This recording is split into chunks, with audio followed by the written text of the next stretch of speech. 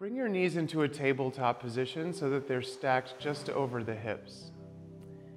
And then flex your palms towards the ceiling. We're essentially gonna take some cats and cows here. We're just gonna do them on our back.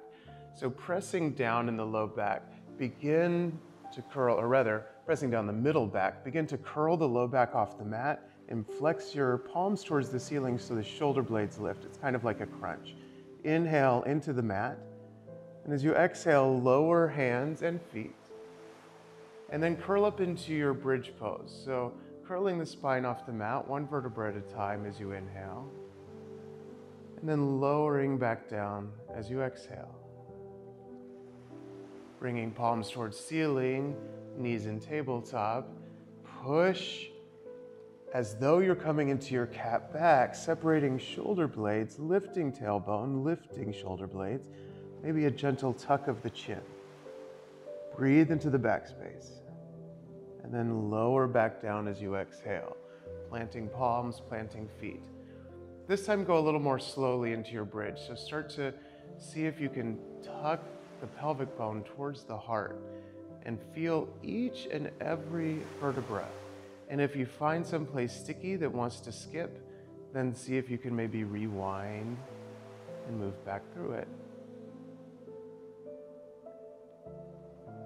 And then once you've reached the top, lower back down slowly the way you came. We'll do one more round exactly like that. So taking the knees into tabletop, flexing palms into ceiling, inhale. As you exhale, push as though you're coming into a cat on all fours, tuck the chin, breathe into the back on your inhale.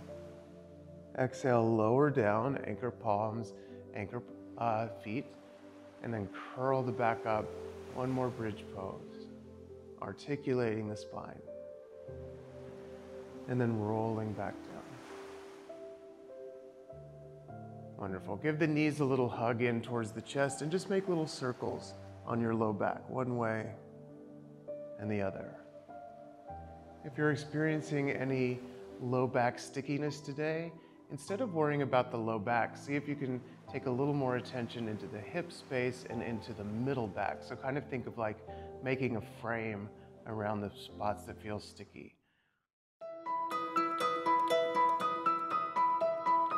If you enjoyed this, please be sure to like, share, and follow dailyflow.yoga.